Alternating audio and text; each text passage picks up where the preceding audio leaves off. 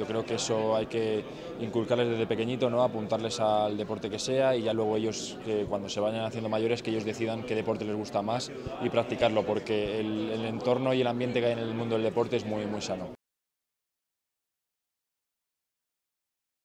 De lo más importante, ¿no? Eso y el descanso, el, dormir, el dormir mucho, el dormir, echar muchas horas de sueño, ¿no? La alimentación es muy, muy importante, comer fruta, comer sano, eh, equilibrado para no coger peso y para estar en un, al mayor rendimiento posible.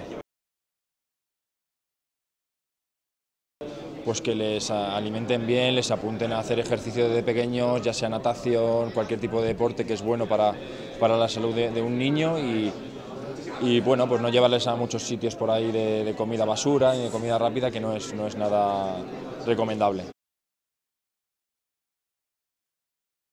Sobre todo el, eh, estirar mucho, ¿no? el calentamiento es muy importante para evitar lesiones, es una de las facetas que, más peligrosas en el mundo del deporte y que corremos ese, riesgo, ¿no? el de la lesión y el poder estar un año parado porque te rompas el cruzado. Todo ese tipo de, de cosas se evitan calentando bien, estirando bien y con una buena alimentación un buen descanso.